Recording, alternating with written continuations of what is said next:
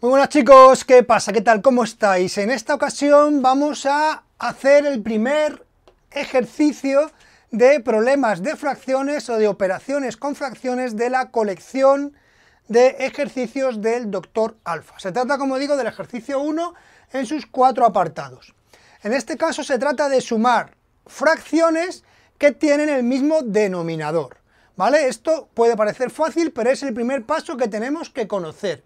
Primero hay que saber cómo podemos sumar fracciones que tengan el mismo denominador. ¿Qué es lo que tengo que hacer? Simplemente tengo en la solución que dejar el mismo denominador. En este caso estoy sumando 5 séptimos más 6 séptimos más 3 séptimos. ¿Qué es lo que ocurre? Que se, se queda el mismo denominador, es decir, se queda un 7. Y ahora lo que tengo que hacer es sumar los numeradores. Es decir, el denominador no se suma, solamente se suman los numeradores. Así pues sería 6 y 5, 11 y 3 sería 14 séptimos, ¿vale? 14 séptimos. Y en las fracciones siempre, siempre, siempre tenemos que simplificar. Entonces, en este caso yo puedo dividir el 14 séptimos entre 7 el numerador y entre 7 el denominador. Por lo tanto, ¿esto que me va a dar? Me va a dar 2. Es decir, 14 entre 7 son 2. ¿De acuerdo? Vamos por la siguiente fracción, que es esta. El común denominador que tengo es el 5, por lo tanto dejo un 5 en el denominador. ¿Y ahora qué hago? Sumo o resto los numeradores. Sería 7 menos 2 sería 5, más 1 me quedaría 6.